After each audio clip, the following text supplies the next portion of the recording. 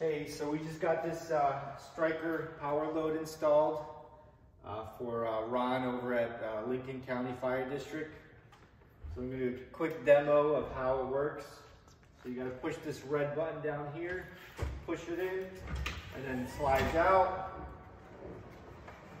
And then it's gonna stop on its own. You gotta make sure the rear bumper is flipped up and then you have your plus and minus signs down here. So I believe it's a plus sign. Yep. So the plus sign goes with the legs go down. That releases once it stops. There's a little circular button at the top here. You push that button and you push it in slightly and then releases. So that's your uh, your power load system there. I've uh, tried it about right, a good 10 times now. It works good. Uh, and then to put it in, you have to guide those front wheels in there. Once you see the green light over there turns green, then you push the minus sign. The legs should start coming up soon. Once the legs come up, push it in all the way.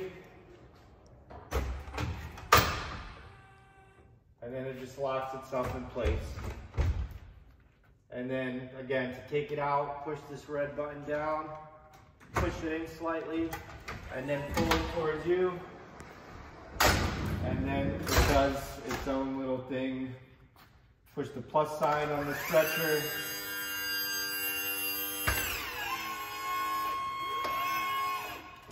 and then the little circle button at the top of the plus and minus sign.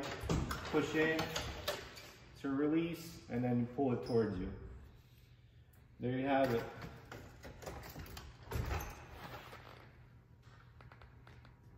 And the stretcher works good. It goes all the way down, goes all the way up.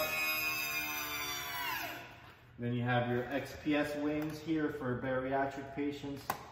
Push it in, comes out. You can regulate the width.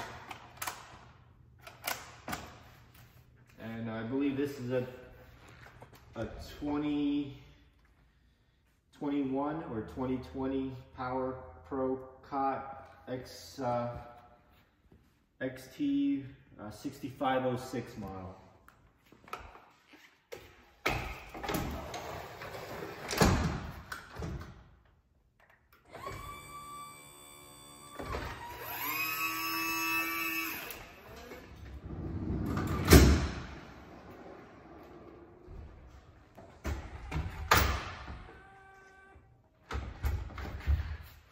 Thanks for watching.